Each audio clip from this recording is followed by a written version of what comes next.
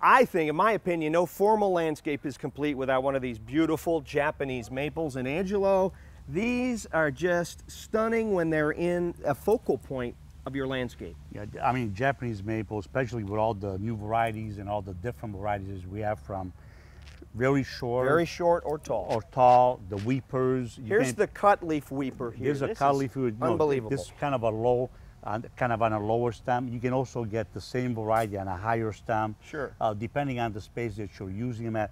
But this is a plant as time goes on, it just gets better and better and better. And if you don't want the weeping form, we've got the upright form the upright of Japanese form is the maple. same thing there. You know, these over here, now, you know, the same thing. We have varieties in here that will take a much larger space, or we Smaller. can go to a, a very narrow type of a. This gets vari- about six feet by four feet about four variety. foot tall, very you know very very tight.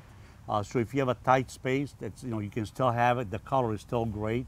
It Just, Awesome. uh, well, j- j- there's a, really an endless choice of, of all the different uh, types and uh, sizes, and kind of pick the place that you want it at, and kind of picture what you wanted to look five, ten years from now. Maybe they should buy three, Angelo. Oh man, that, All that'll work too. Thanks.